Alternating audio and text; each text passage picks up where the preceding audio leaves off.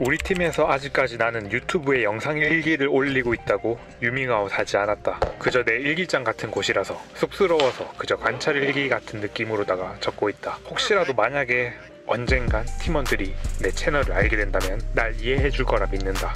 역시 팀원은 어, 믿음이니까. 포설팀에서 일한 지 첫 주 주말이 지났다. 먼저 5시 10분 정도의 기상을 한다. 씻고 양치질하고 어, 정신 차리고 40분쯤에 나간다. 유튜브 컨텐츠 중에 뭐 한 달 동안 어, 6시에 일어나 보았다. 뭐 6시 챌린지 뭐 이런 게 한동안 유행이었던 것 같은데 숙로 오면은 자연스럽게 5시 때 기상 챌린지를 할 수 있는 장점이 있다.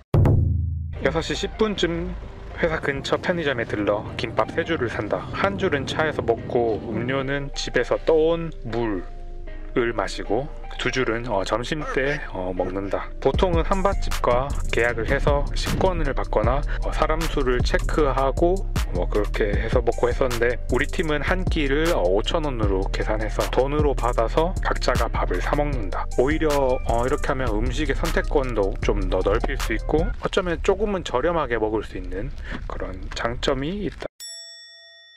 6시 20분쯤에는 어, 주차장에 도착해서 셔틀을 타고 회사에 들어가면 한 10분에서 15분 정도 걸어 들어가면 어, 작업 현장이 나온다. 1층에만 화장실이 있어서 아침에 가면 항상 줄이 있다. 이 똥줄을 기다려서 morning 응아를 하고 그렇게 6층 shop장으로 올라간 7시 20분에 오전 TBM을 6층 shop장에서 하는데 어, 이때 엘리베이터 줄이 정말 길다. 똥이 가장 문제인데 이 오전 TBM 하는 곳은 6층이고 건물 내에는 대변 보는 곳이 없다. morning 응아를 하지 않고 힘들게 줄을 기다려서 엘리베이터를 타고 6층에 올라갔는데 갑자기 배가 아픈 경우 아... 그런 적이 심심치 않게 발생한다. 근데 엘리베이터가 어, 왔다 갔다 하는 게 되게 느려서 엘리베이터 줄이 또 길거나 또 힘겹게 내려왔는데 똥줄이 또 길면은 정말 그때부터 hell을 보게 된다. 요즘은 엘리베이터 쪽 공사 중이라서 엘리베이터 내려가는데도 10분은 잡아야 해서 신호가 온다 싶으면 정말 미리 지체 없이 결단을 내려야 한다.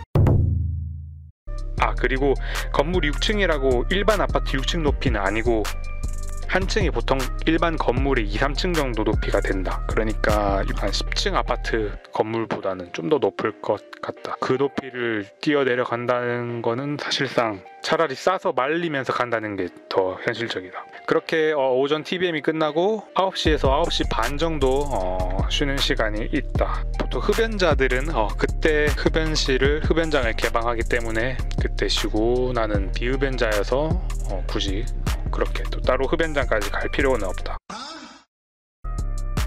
그리고 11시 30분부터 1시까지 점심시간 그리고 다시 오후 3시부터 3시 30분까지 어, 오후 쉬는 시간 5시쯤부터 정리를 하고 5시 30분이면 일과를 마친다. 또 이제 퇴근 시각에는 또 퇴근 전쟁이 어, 열려서 차가 많이 밀린다. 차가 많이 밀려서 집에 도착하면 우리 숙소 근처에는 마땅히 먹을 게 없어서 음, 장을 봐온 그 식자재로 어, 다 같이 요리를 해 먹는다. 나머지 시간은 어, 개인 시간인데 각자 알아서 보내거나 나는 밥을 먹고 나면은 어, 운동을 하려고 노력하고 있고 이렇게 일주일이 반복됩니다.